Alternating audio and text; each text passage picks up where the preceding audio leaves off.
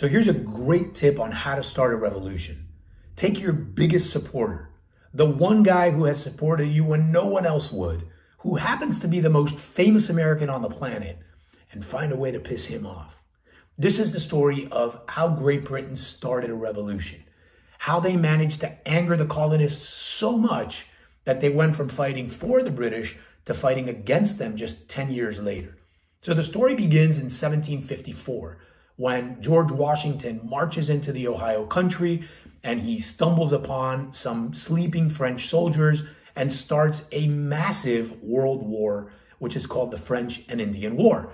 Uh, early on in that war, things are not going well for the British, and that's when Benjamin Franklin springs to action. Now, Benjamin Franklin is not your ideal soldier, right? He's rich, he's famous, he's 50 years old, he's unathletic, he is not made for the battlefield. But the governor of Pennsylvania makes Benjamin Franklin a military commander, and off he goes into this dangerous Ohio country to build forts and advance the British cause, which is absolutely crazy. Uh, by 1763, the war is over, and the British have won, and Benjamin Franklin has set sail to London, where he will live for the next 10 years or so. And this is when things are, are going to start to get really interesting um, because wars are expensive. And this case was no exception. So Great Britain ended, ended this war with 137 million pounds of debt. Now, just to give you some perspective, um, the government every year had to spend more than half of its entire budget just paying for the interest on that debt. So Great Britain has a massive debt problem, and they decide, you know what, we're going to start collecting some of this cash from the colonies, right? So they pass what's called the Sugar Act. Now, the Sugar Act is a tax on a whole bunch of stuff being shipped into the colonies from non British places. We're talking about sugar, wine, coffee, whole bunch of stuff. Now, this idea isn't really new. In fact, a lot of these taxes have been around for 20 or 30 years, including the tax on sugar. And the Sugar Act actually reduces some of these taxes. In the case of sugar, the Sugar Act, redu- the sugar Act reduces the taxes from six pence per gallon to three pence per gallon. So it cuts it in half. Now, here's the issue the issue is that in the past, uh, Great Britain didn't really enforce the uh, these taxes. And so people were just constantly like smuggling things into the colonies. And now with the Sugar Act, uh, you know, things are different. Great Britain needs the money, and so they plan to start enforcing the taxes. Uh, Benjamin Franklin thinks this is fine, right? He says these taxes are fair, they're modest, they're reasonable, and you know what? If this is what needs to be done to pay for the war and to pay for all the British soldiers who now have to stay in the colonies to protect it, he's fine with it, not a big deal. Now, there are some people in the colonies who are really upset by the Sugar Act but for the most part, you know, people are, are, are just kind of okay with it. They let it go. They let it go. After all, they're not the ones paying the tax. The problem is that the Sugar Act doesn't generate enough money, and the British need more cash.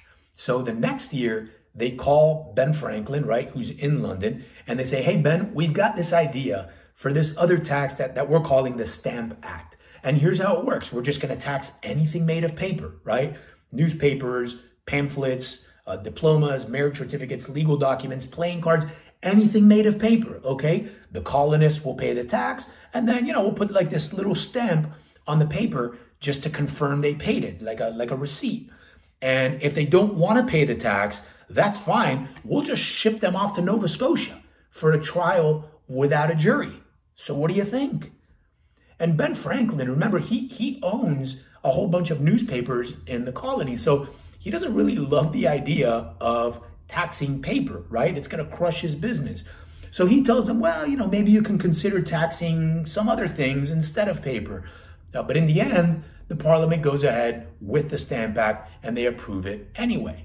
So, you know, Franklin isn't that upset once the Stamp Act passes. He actually goes out and he gets a job for his buddy John Hughes, who's the Speaker of the Pennsylvania Assembly, uh, as the number one collector of the stamp tax in Pennsylvania, which is pretty cool because John's going to get a little cut of all the taxes that he collects. So Franklin is happy, uh, John Hughes is happy, But back in the colonies, nobody is happy. They hate the Stamp Act. They refuse to pay it. And they refuse to pay it because they say, look, the British Parliament, okay, has no right to tax us. We don't have any representatives in the British government. They can't tax us. No taxation without representation, right? So they get very angry. In some cases, they destroy the homes of British officials and stamp tax collectors. And John Hughes kind of freaks out and he writes this letter to Franklin where he says, Hey man, things are getting crazy here. People don't want to pay the Stamp Act and they are getting violent. He says, I fancy some lives will be lost before this fire is put out. And he tells Franklin that he's going to arm himself and protect his home at the risk of my life. So Franklin writes back and he says, Hey, John, buddy, stay calm. Don't worry about it. He says, Listen, this whole stamp tax thing, it's going to make you unpopular for a little while, but people will come around to it. They will pay the tax, they will accept the tax. And in the meantime, he says, just stay the course. He says, a firm loyalty to the crown will always be the wisest course for you and I to take. Well, back in the colonies, people didn't really agree with Franklin. They refused to pay the Stamp Act. And, and, and in some cases, they started blaming Benjamin Franklin for the Stamp Act. So an angry mob actually gets together and, and starts marching down uh, to Franklin's house to burn the thing down, destroy the thing. And uh, Franklin is lucky. He has some very good friends who confront the mob and kind of shoo them away and protect his house. But Franklin's buddy and his business partner writes him a letter saying, Hey, things are very, very bad down here. He says, I should be afraid for your safety. And so Franklin finally gets it. He understands look, the colonists will not pay this stamp tax. And he goes marching into Parliament and he convinces them to repeal it. He says, Look, guys, the colonists, they are never, ever going to pay your stamp act. Okay? So get rid of it. But he also tells them they don't really have a problem, okay, paying taxes on imported goods. He says, I have never heard any objection to this kind of tax. He says, the sea is yours. You keep it clear of pirates. And if you want to tax some goods that are passing through that sea that you are protecting, that's fine. Nobody's going to bother you. So the parliament gets rid of the Stamp Act, but they pass what's called the Townshend duties. The Townshend duties are taxes on a bunch of goods being imported to the colonies paper, glass, paint, tea. Franklin, of course, is okay with it, right? He's okay with it. He writes to a friend actually saying that his king and queen were the very best in the world. Well, in the colonies, people didn't really feel the same way. Uh, they refused to pay these taxes too, right? At this point, again, they're saying, we don't have representatives in parliament. Who are they to be taxing us, right? So in Boston, a bunch of angry colonists marched down to the local custom house where these Townshend duties are paid, and they start throwing things at the British officials and the soldiers protecting it. Soldiers open fire, and five colonists are killed. This is what's called the Boston Massacre. And colonists are absolutely furious. They're outraged. Even Benjamin Franklin calls these uh, British soldiers detestable murderers.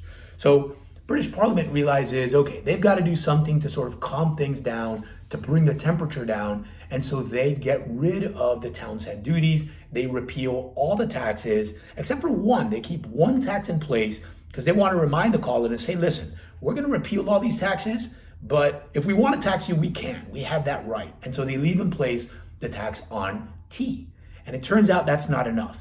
Back in Boston, a group of angry colonists, about 100, march toward the, uh, the port of Boston. They sneak onto a ship and they spend three hours dumping tea into the ocean. This, of course, is what's called the Boston Tea Party. And when word gets back to London that the colonists have destroyed what would be today millions of dollars in tea, uh, the British Parliament goes nuts. And they decide they need to punish the colonists, right? Now, Benjamin Franklin jumps in and he tries desperately to, to save the day, right? He even offers to pay for the tea himself if the British will sort of take it easy on the colonies. But by this point, the British, they're not really listening to Benjamin Franklin anymore. In fact, some of them are calling him a traitor, and some of them are blaming him for the Boston Tea Party. Why? Well, because a year earlier, uh, Benjamin Franklin had actually he got hold of some really sensitive British documents and he leaked them to some friends of his in the colonies. And when all these documents got out in the colonies, it made the British look really, really bad and it made the colonists really, really angry. And so, you know, at this point, some people are calling Franklin a traitor. They don't want to listen to him. They ignore him and they pass what comes to be known as the Intolerable Acts or the Coercive Acts. Now, these laws do a few different things. Number one, they shut down the port of Boston. Uh, number two, they say that uh, colonists in Massachusetts have to pay for all the tea that was thrown overboard. Number three, colonists in Massachusetts can no longer elect their leaders in colonial government. And number four says that, that colonists anywhere have to allow British soldiers to basically take over unoccupied homes, buildings, structures, right? Um, the colonists decide this is absolutely not acceptable. Uh, and they need to have a unified response to the British Crown. So they call a meeting uh, that's called the First Continental Congress to figure out how to respond. 12 of the 13 colonies send representatives. Georgia is the one colony that says they don't want to participate. They want to stay loyal to Great Britain. So 12 colonies participate. And after days and days of debate, they decide that uh, they're just going to send a very nice, gently worded letter to King George asking him, please, please, please uh, take away these intolerable acts. So that letter goes out, King George receives it, and he throws it in the trash. The following year is 1775. Uh, Benjamin Franklin hops on a ship and he sails back to the colonies. He is angry with the British. He is determined to fight. He is insistent that the colonies have to fight for their independence. And things are about to get really, really heated but we'll talk about that in the next video.